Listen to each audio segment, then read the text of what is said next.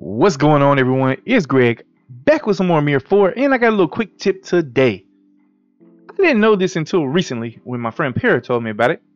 But did you know that you can double air glide? And you can also switch direction while you're doing it. So I just want to make sure everyone is aware of this. It'll help a lot in Secret Peak.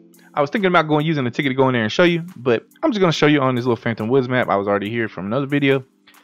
So I do use keyboard and mouse and so I don't know exactly which button it is graphically. Um, we're gonna try to determine that here. I'm gonna see if I can do a click, you know, clicking on it. But what happens is if you double jump and then glide, once you get, I'm gonna spam spacebar, and once I get to the end of it, I'm gonna jump again and I can glide again. So there you go. So that's the oh, and, and now I'm stuck. Okay. Now let me show you the change. Uh, well, if I can get out of here. Here we go. Now, at the same time, I'm going to just show you with the same method. If you double jump, glide, spam jump, change direction and glide, boom, you go in a different direction. So this is very handy for getting around. Let's see if I can do this by just pressing the button. Uh, let's see which button is it. It'll light up very briefly. It's that one. Okay.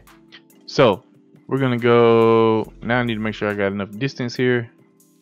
So I'm gonna go back this way first and let's just try this. I'm spam clicking. Yeah it works. There you go. So if you're on like a, a touch device you can spam click the jump. As you can see you get a, only a very brief window to change your direction or or to just do it again. So go. I'm gonna spam click on this which is the same as spam touching it and then boom I did it again with clicks so there you go. I hope this little quick guide was helpful. A little quick way to get around, especially in Secret Peak. Get you a little bit further when you're trying to glide. It was kind of funny because my friend Para, he would always beat me to this one boss in Secret Peak, and I could never figure out why. I never bothered to ask.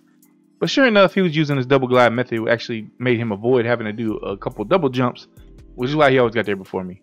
So anyway, don't be like me. Don't play the game for like over a month and then find this out. Now you know. Use this to your advantage. I'll catch you guys in the next one.